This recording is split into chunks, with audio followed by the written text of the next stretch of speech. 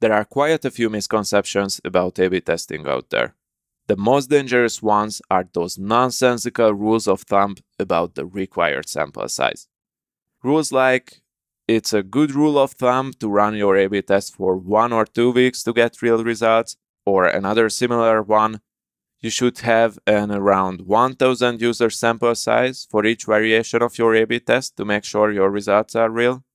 I hope that at this point you realize that these rules are plain wrong. And to get a real answer to the how many users you will need question, you will have to run your own calculations. So how do you calculate the required sample size before starting an experiment? Well, it's kind of the reverse engineering of the statistical significance calculations. There are different mathematical approaches. Here I will show you the simplest one. You will need these three numbers. Your current conversion rate, let's say that I test an email subject line of one of my newsletters and I use the open rate as my conversion metric. In this case, for me, this is around 30%.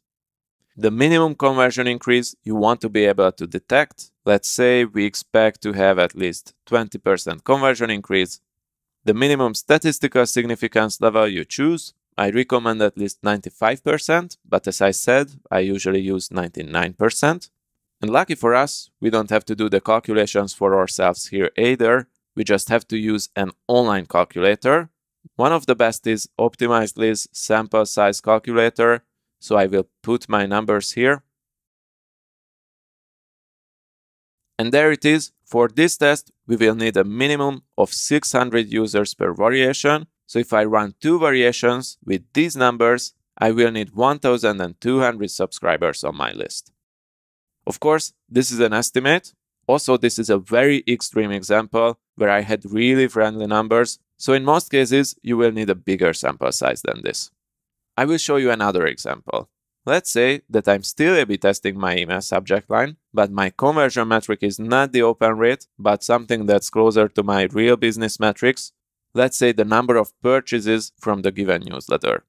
In this case, an industry benchmark would be an average 2% conversion rate. And if I change my numbers here, you will see that I will immediately need around 21,000 subscribers per variation. So all in all, around 42,000 subscribers if I run an A-B test with two versions only. As you can see, the lower your current conversion rate is, the more users you will need in your experiment.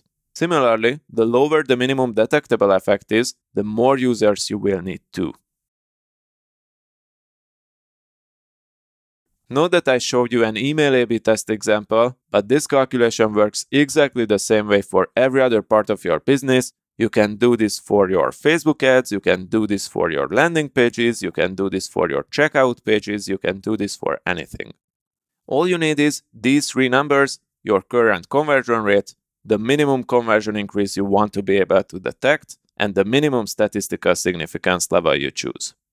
And of course, when you are running an experiment on your website, you can even calculate the estimated number of days that you have to run your test for. So just in case, I will give you one last example for that as well.